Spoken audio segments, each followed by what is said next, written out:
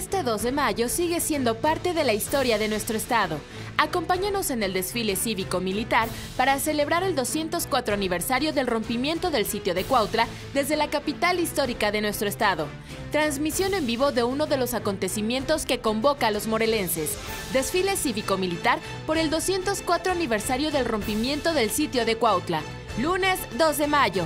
Inicio de transmisión 10.30 horas. Canal 49, el canal de Morelos.